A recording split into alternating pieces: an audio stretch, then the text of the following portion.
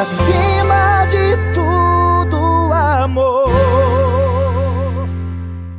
Bem, dá para vocês verem o tanto que tem assunto, o tanto que é esclarecedor, o tanto que é importante. Toda a sociedade é, de uma comunidade, seja é, desde a responsabilidade dos políticos, da, dos médicos e de toda a classe social, deveria se preocupar mais, saber mais sobre a importância das UBS no, na saúde da população. E eu agora estou trazendo mais duas especialistas que vão enriquecer, mostrar o tamanho que nós temos de responsabilidade com essa medicina e o tamanho de valor que nós damos por essa medicina. Por isso eu estou enaltecendo nesse programa a importância de saber o que, que é a, o serviço das UBS nos municípios. Eu estou aqui à minha esquerda com a doutora, a doutora Amanda e à minha direita com a Carolina, que é enfermeira psiquiátrica do Núcleo de Saúde Integrativa. A doutora Amanda, ela é responsável pelo Núcleo de Saúde Integrativa. São duas mulheres responsáveis e duas experiências muito grandes nessa saúde tão importante que eu fico abismado de ver como levam isso meio de brincadeira. E, e como é triste saber que nós não temos nem 3% de especialistas nessa área na saúde no país. É tudo tocado mais ou menos, tudo mal feito. É um problema a saúde do SUS nesse país.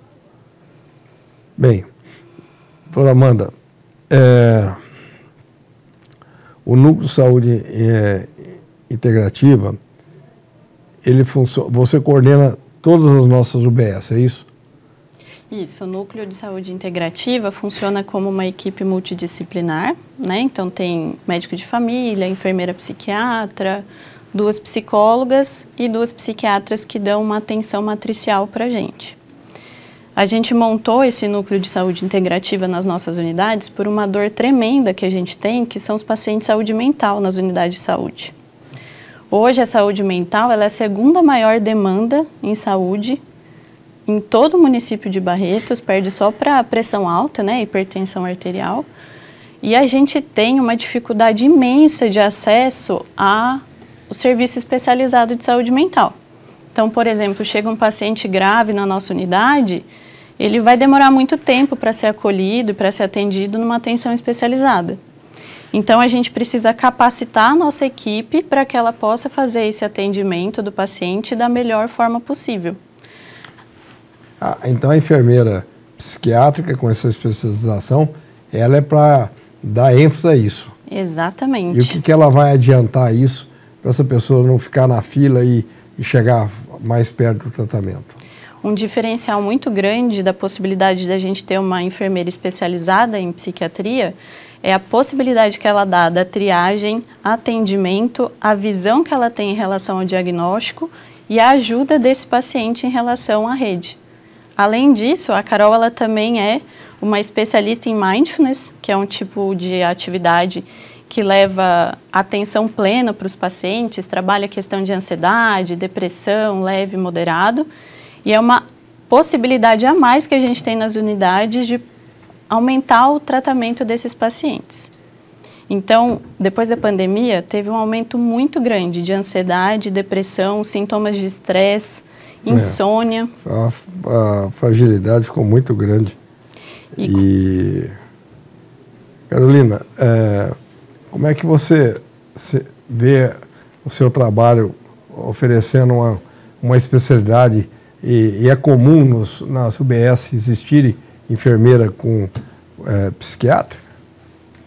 Na verdade, é bem raro. É, primeiro, a enfermagem ter oportunidade de se especializar em psiquiatria e saúde mental, né? Nós temos poucas residências de enfermagem em psiquiatria e saúde mental, então é muito difícil ter essa especialidade. E na atenção primária ainda mais, porque geralmente essas enfermeiras elas vão trabalhar nos serviços especializados e não na atenção primária, que é a porta de entrada para a maior parte dos transtornos mentais que a gente tem hoje. E quanto tempo demora na hora que você percebe um paciente no bairro, para você encaminhar ele para um tratamento? É, acho que o que a gente tem de vantagem é que, estando na atenção primária, se eu identifico que é um paciente que pode ser cuidado pela nossa equipe, eu já consigo, na mesma semana, atender aquele paciente, fazer uma estratificação do risco dele e encaminhar ele, né? No, no caso, nós temos psicólogas que trabalham junto com a gente no NUSE, então eu consigo discutir o caso com elas, às vezes encaminhar para uma avaliação inicial ou para os médicos de família, né? E aí esses médicos de família têm esse auxílio agora das psiquiatras que fazem esse treinamento com a gente para a gente conseguir atender esses pacientes de uma forma rápida. Desde quando a gente começou com o projeto lá nas unidades, a gente tinha uma fila para especializada aqui de Barretos que passava de 2.500 pacientes que estavam aguardando para passar com a especialidade. Quando a gente começou o projeto, junto com o matriciamento, a Carol, a capacitação da equipe, a gente aumentou para 90 a 92% a resolutividade do cuidado de saúde mental nas nossas unidades. E antes era quanto? Ai, antes eu imagino zero, zero eu acho que não, mas é, provavelmente era mais baixo. Comparado com as outras unidades do município, a gente tem uma resolutividade muito maior, porque a gente se prepara para realmente dar um tratamento específico para esse paciente. Nossa, é complexo.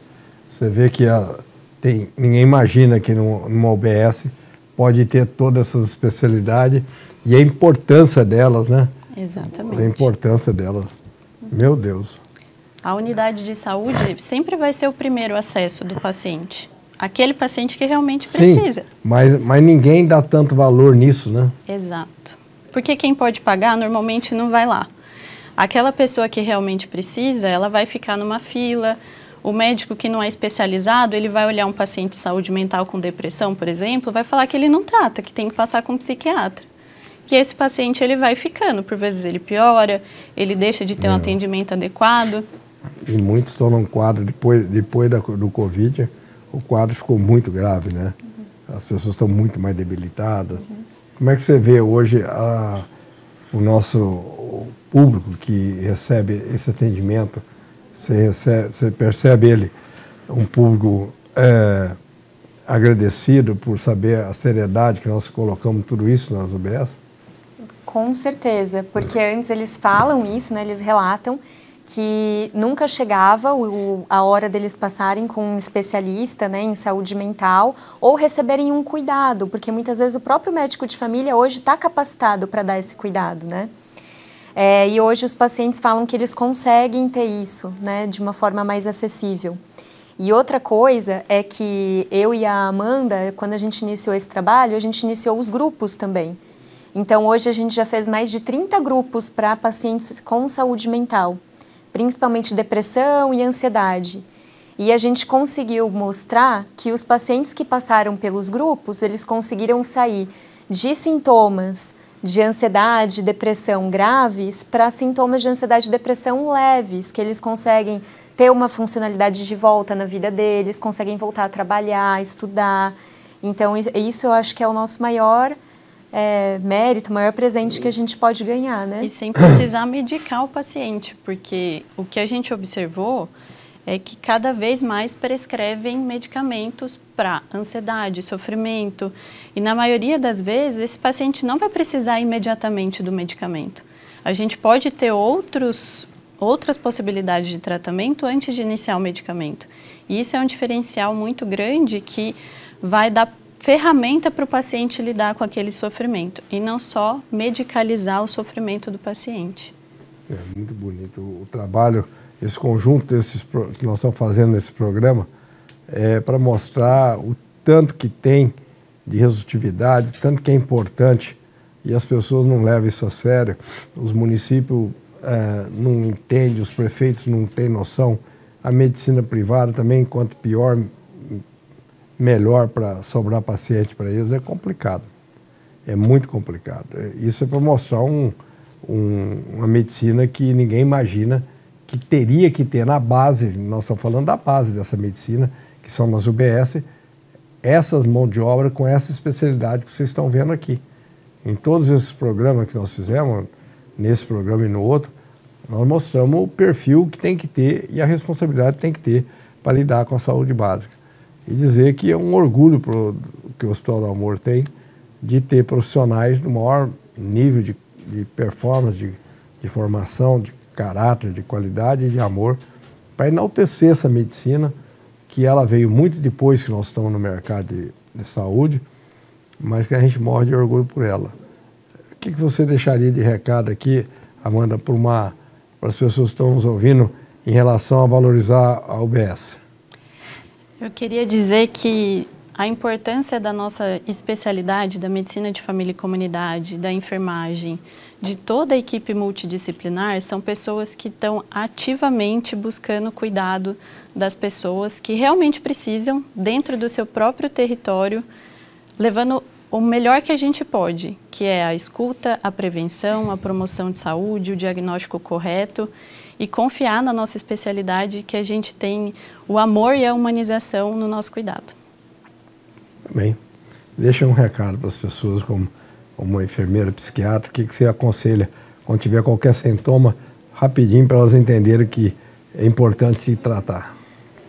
É, acho que eu aconselharia sempre todo mundo que esteja com sofrimento de saúde mental ir buscar a unidade de saúde, porque lá é onde a gente vai ter a equipe que vai estar tá interessada no cuidado daquele paciente e também que vai conseguir acompanhar ele de uma forma longitudinal. Né, ver ele mais vezes, ver ele de perto, dentro do território, igual a doutora Amanda falou. Então, procurar ajuda nunca é um sinal de fraqueza Procurar ajuda sempre é um sinal de que a gente teve coragem de dar o primeiro passo para se cuidar. Acho que esse seria. Acho que esses dois recados aí, vocês têm que tomar mais juízo, valorizar muito, principalmente serviço público, o valor das UBS. Era isso que o Hospital do Amor queria mostrar o orgulho que ele tem nessa missão. Ajudar ao próximo é ajudar a si mesmo é agradar a Deus, é só fazer o bem, sem olhar para quem. Ajudar ao próximo é dividir a luta de alguém que nem conheça e assim curar a dor. Por acima de tudo, amor.